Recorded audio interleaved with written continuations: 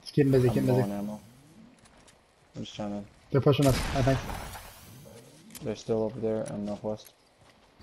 I have low ammo count. What do you need? Medium? Yes. I got, got him. him, I got him. baby, That was a good shot.